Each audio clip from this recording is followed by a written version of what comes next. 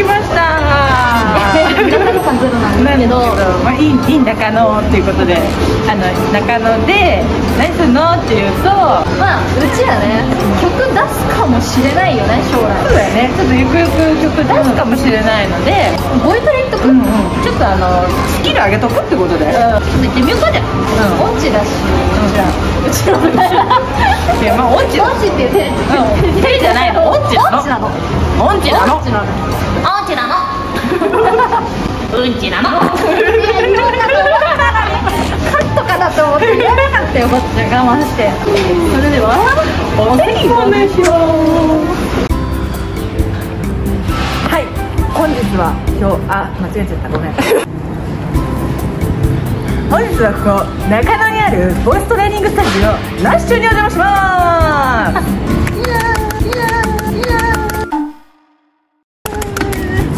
それでは早速中に参りましょう。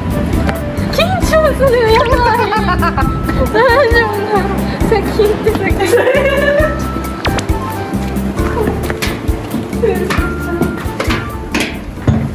はいでは今日ボイストレーニングを見ていただける先生鈴木康先生です。はい、どうもよろしくお願いしおます。願いします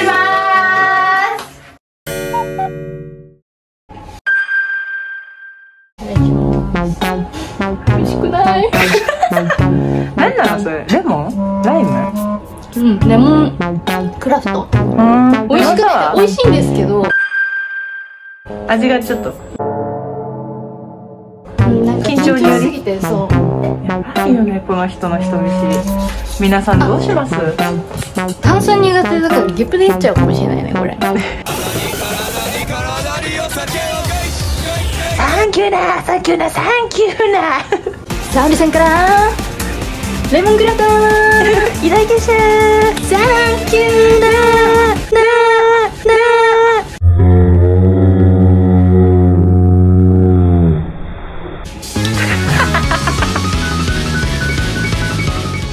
一限目歌の座学お願いしじゃまあ、ちょっと頑張って、最初にすはい歌を歌う上ではい。大事なポイントっていうのがあるんで、はい。それを説明していきますね。い。で、できればですね、あの、まあ、メモするなり。いえいえいえ、大丈夫大丈 体一つで挑もうとして夫。はい。ありがとうございます。ありがとうございます。それではね、まあ、必須の要素っていうか歌を歌う時に必須の要素が3つあります。ちょっと書きづらいんだけど斜めになってるの気にしないでね。一番気にしなきゃいけないのは音程。音程。ね。音程ってやっぱりこうメロディーがあるわけだからそのメロディーをきちんと歌えてるかどうか大事だよね、音程どう？自信ある？ないです全く。なるほどね、はい。あなたは？私もないです。ない。ないんかい。で音程とくればよ。何？リズム。イエスすごいね。これ大事だよね。メロディーがあってそのメロディーを正しくどんなリズムで歌えばいいのかとこれはもうちゃんと正解があるよね。はい。こう歌わなきゃいけませんよっていう正解がで3つ目。これが大事なんだけどここは何だと思う？意味。意味。あ歌詞の？ああなるほど。新しいね。すごい新しい。まあまあ大体わからんわからんよね。音程とリズムが合っていれば棒になっていてもいい歌が棒になっていてもいいダメだよね。音程とリズムが合ってても曲にはほら歌詞があるじゃん。言葉があるじゃない。言葉を伝えるっていう意味では感情だよ感情だよ。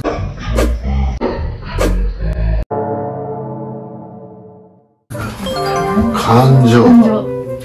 この感情がとても大事でしょ。書きづらいねこれ。感情。感情。で音程とリズムはさっきも言ったように正解があります。でも感情はどう？例えば同じ曲を10人歌ったら10人の感情があると思わない？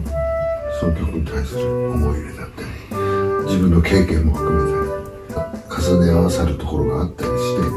まあだから感情っていうのは皆さん入れてんのさ歌う時に。プロでもえーアマチュアでも素人さんでも全員入れてます感情は。ただ問題は感情を入れればじゃあ伝わりますかってことだよな。ここ大事だよな。感情を入れて伝わるんだったらこんな苦労することないよね。感情っていうのは入れても伝わらない場合が多い。うん、だから自己満足になってしまうケースが多い。でも我々は、まあ、いわゆるプロと言われる人たちは伝える術を持ってないとやっぱり一線では活躍できない、だからまあお二人がねどこを目指すかっていうのは俺は知らないけどすごく歌が上手くなりたいとかね誰かに伝えたいとかそんな思いがあるかどうかは知りませんよ。でも一応知識として知っててねねで感情っていうのは感情を入れれば伝わるんではなくて感情を入れてるように聞かせるテクニック。書きづらいなこれ。テクニック。が必要だとここはこう歌えば感情入れてるよ。うに聞こえるよ全然感情入れてなくても感情入れてるように聞こえるよってことをこうちょっとこう頭に入れながら勉強していくとすごく楽しくなっていく。ね？ね？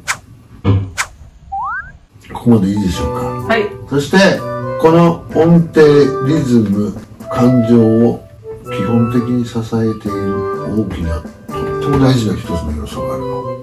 これは何でしょう？何でしょう？っつったって。曲。曲。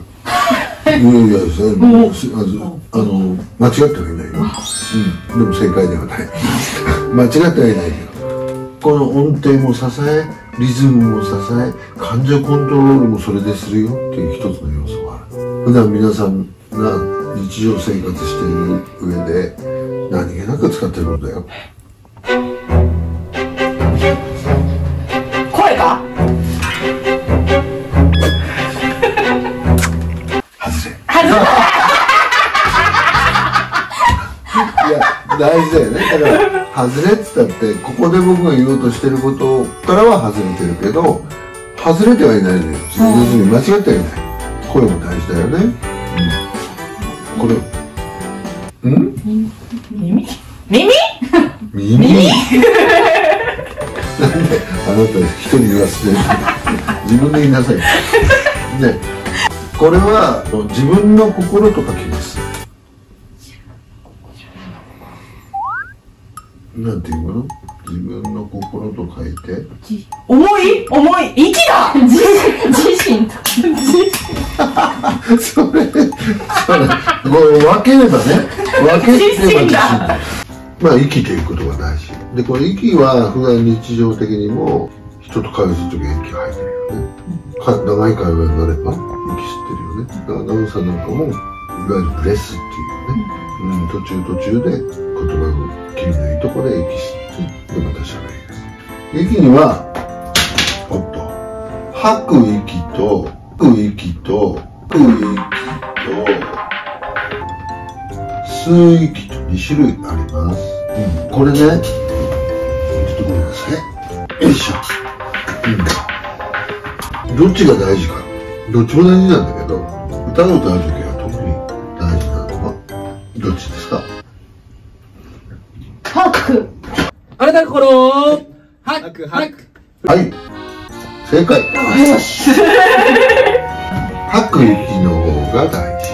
で吸う息っていうのは皆さん意識しなくても吸ってるから苦しくなれば吸ってるのよ。だけど吐くってことは意識しないとできない。のねまあ後でね検証しましょうね。でこの吐く息が音程と感情を支えてます。そして唯一吸う息だけがリズムをコントロールしてます。吸うタイミングによって早く吸ってしまえば早く歌い出したくなる。そうすると、うん、ちょっと全体に前のめりになっていく。うん、かといって遅くな吸いすぎると後ろに持っていかれてもたもたしてしまう。だ適正の場所の一つしかない。でこの息の吐く息のことも含めて課題曲に取り組んでいきたいと思います。はい。ね頑張りましょう。はい行きます。瞳を閉じて